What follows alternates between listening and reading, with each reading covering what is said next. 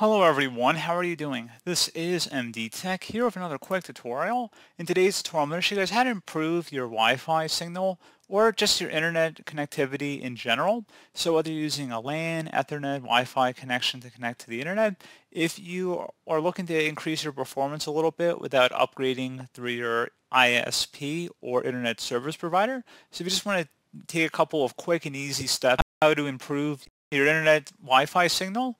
In today's tutorial, I'm going to show you guys how to do it. So we're going to jump right into it, and we're going to start off by opening up the search menu. Type in Control Panel.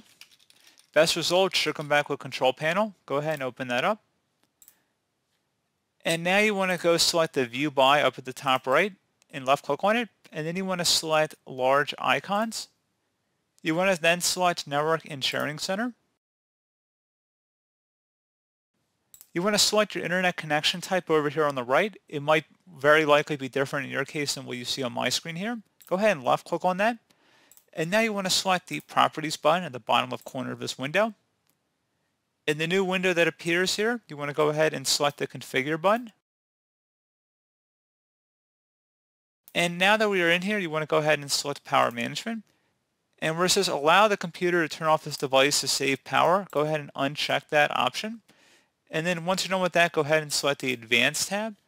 Now underneath the Advanced tab, you want to look at something here that says Roaming Aggressiveness. I do not have one in my machine here, but again, Roaming Aggressiveness. You go ahead and just left click on it, and then you would set it to Disabled. So again, a Roaming Aggressiveness. You would select it and then change the value to Disabled over here on the right.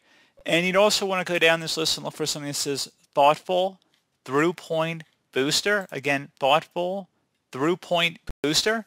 It might just say throughput booster. So again, that's very important. Look for throughput booster.